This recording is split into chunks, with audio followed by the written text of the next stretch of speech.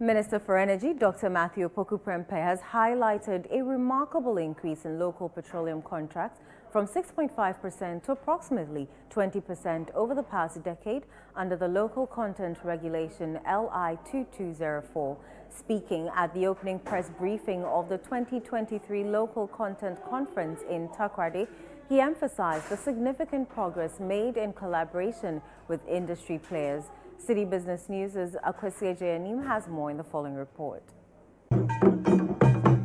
The Petroleum Local Content Conference serves as the premier annual platform for discussions among oil and gas industry stakeholders.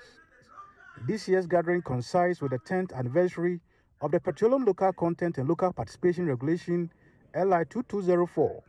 During the press briefing before the local content exhibition, the Energy Minister expressed Ghana's advancements in local petroleum contract facilitated by the legislation.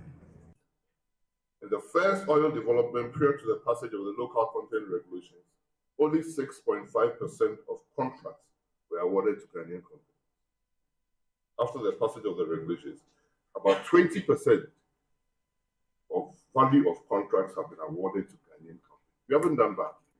Let me point out that our drive towards optimal local content and participation also contributes to the successes of that. I am proud as a Ghanaian to say that we even now have a fully indigenous Ghanaian exploration and production company that has drilled and drilled successfully and discovered waters in the deep waters of this country. Addressing the press conference team, 10 years of local content in Ghana's upstream petroleum industry, achievement, challenges, and prospects, Egbert Faibille Jr., the CEO of the Petroleum Commission, highlighted the positive impact of the LI 2204, particularly in enhancing local capacity, especially in pipe fitting.